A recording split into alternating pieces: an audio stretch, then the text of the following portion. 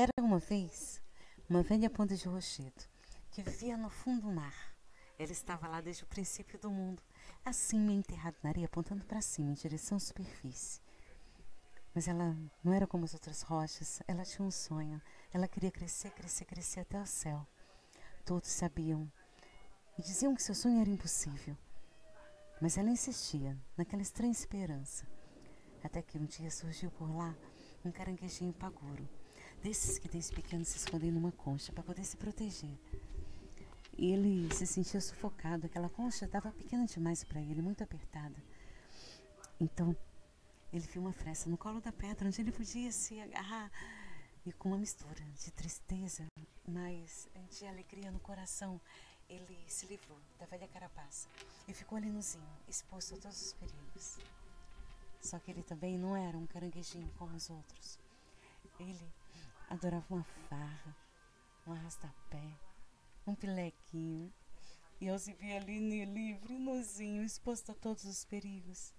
Ele começou a dançar e a cantar, a dançar e a cantar, até que ele se distraiu. Então veio um peixe enorme, um mero glutão, aquele peixão preto típico do Atlântico tropical, com a sua boca de aspirador de pó, ao ver aquele caranguejinho tão suculento, tão apetitoso, começou a sugar ele para dentro da sua boca. A ponta de rochedo, quando viu aquilo, cedeu uma fresta para ele se agarrar. Ele se agarrou com todas as suas forças, até que o mero glutão desistiu de engolir tanta água e foi se alimentar em outro lugar. Imediatamente, ele foi para o fundo do mar, se escondeu num caracol e voltou para falar com a velha ponta de rochedo. Ô oh, minha amiga, o que, que eu posso fazer pela sua felicidade? Mas ela não disse nada, porque essa pedra não falava. Mas Caranguejinho sabia do seu sonho, do seu desejo secreto. Então ele decidiu dedicar a sua vida para realizar o sonho dela mas a única coisa que ele sabia fazer era chacoalhar com suas patinhas no fundo do mar. Então ele foi lá e começou a coçar, e a coçar para lá e para cá, porque ele pensava que o fundo do mar é a barriga do mundo. E talvez se ele fizesse cócegas, as coisas poderiam mudar. Vai que o mundo dá uma gargalhada e todo mundo deste lugar.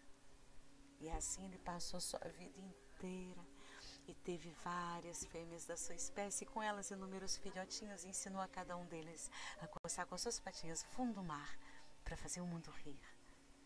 Quando chegou o final dos seus dias, ele parou para descansar dentro de um imenso caracol cor-de-rosa. Já eram incontáveis números de caranguejinhos da sua espécie que coçavam a barriga do mundo para fazer o mundo rir. Então, de cem, cem anos, séculos se passaram.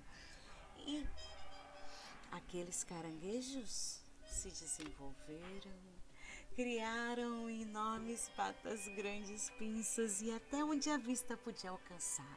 Ao longo do Mar das Caraíbas via-se os caranguejos coçadores pulando por tudo. Todos ficavam impressionados com a sua dança, mas o mais impressionante é que começaram a dançar com eles também. Aquele ritmo caribenho, as moreias, os camarões vermelhos de prazer, os. Quem? Os caramujos? Não. Os caracóis. Os caracóis. Os caracóis fazendo.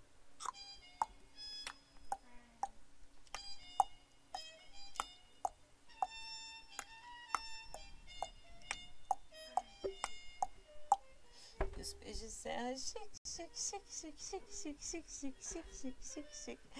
até que o mundo não aguentou mais. Tanta pata, tanta pinça, tanta barbatana, coçando a sua barriga durante séculos e séculos. Até que ele explodiu. Foi num instantinho só, num terremoto de gargalhada. O mundo arrebentou a cara de tanto rir. O que era uma massa de terra só se partiu no meio então se formaram os continentes. As Américas de um lado, a África do outro, No meio se abriu um imenso sorriso que se encheu de mar. Formaram-se os oceanos, os rios mudaram seus cursos. O mundo, minha gente, o mundo ficou feliz. E para comemorar essa felicidade, 28 exatamente labaredas de lava incandescente brotaram do centro da terra. E em cima de uma delas surgiu, emergiu a velha ponta de rochedo da nossa história. Que nesse dia cresceu, cresceu, cresceu, cresceu, cresceu, cresceu, cresceu, cresceu até o céu. Pude ver o sol,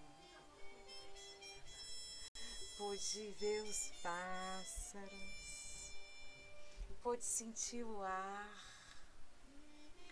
até finalmente repousar no topo de uma montanha que se encheu de mar em volta e se transformou em uma ilha, a Ilha de Boriquém, uma das 28 ilhas do Mar das Antilhas, que hoje é o país Porto Rico, que está lá, pode ir lá conferir, com a sua velha ponta de rochedo submarina. Essa história é de Calman Darcy, um argentino uruguaio radicado na Argentina e que viveu em Porto Rico muito tempo, lecionando como professor na área de literatura nas univers numa universidade lá, durante muito tempo. E hoje em dia ele está na Espanha e está lá no Facebook. E tem dele, contos magníficos. Eu às vezes me sinto a velha ponta de rochedo, querendo crescer, crescer, crescer, crescer. E às vezes eu sou o caranguejo que ajuda as pessoas a realizarem os seus sonhos.